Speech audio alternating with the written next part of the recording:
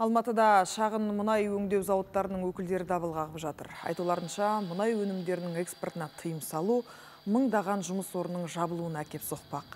Әрі министрлік ұсынған шектеулер керісінше дизель отынның тапшылығын күшейтіп жібереді дейді мұнайшылар.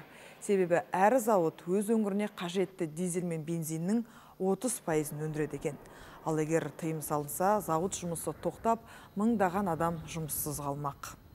Мұнайшылар мұнай өнімдерін экспорттауға тыйым салынса, көптеген кәсіпорындар жабылып қалады деп алаңдап отыр. Яғни енгізілгелі отырған шектеулердің кесірі бензин мен дизельді шетелге шығармайтын шағын компанияларға тимек. Сол үшін бір топ кәсіпорын өкілі бас қосып мәселе көтергенді жөн көріпті. Айтуларынша бір апта бұрын мұнай өнімдерінің экспортына тыйым салуды көздейтін бұйрық ашық талқылауға шығарылған. Соған сәйкес шағын зауыттар табыс табатын пеш, кеме отыны, нафта, нефраз секілді өнімдерді экспорттауға шектеу қойылмақ. Бірақ көктемгі дала жұмыстары кезінде дизель тапшылығын болдырмауға бағытталған бұл бұйрық жағдайды тіпті ушықтырып жібереді дейді олар. Себебі өз өңірін қажетті дизель отынымен қамтамасыз ететін кәсіпорындар жұмысын тоқтатады.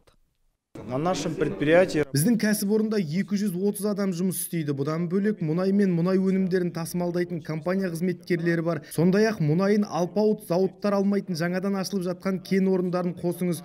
Бұл мыңдаған адам деген сөз. Міне сол кісілер жұмыссыз қалады. Себебі шағын зауыттар шығаратын мұнай өнімдерінің экспорты тоқтаса, өңірлердегі әлеуметтік ахуал қиындайды. Мұнайшылар шектеу тек дизель отыны мен бензинге қатысты ғана салынсын деп отыр, ал қалған өнімдерді экспорттауға рұқсат берілгенін қалайды. Әрі бұл тиым мемлекет үшін де тиімсіз дейді олар, өйткені салықтан түсетін қаржы азайып, бюджет кірісі төмендейді.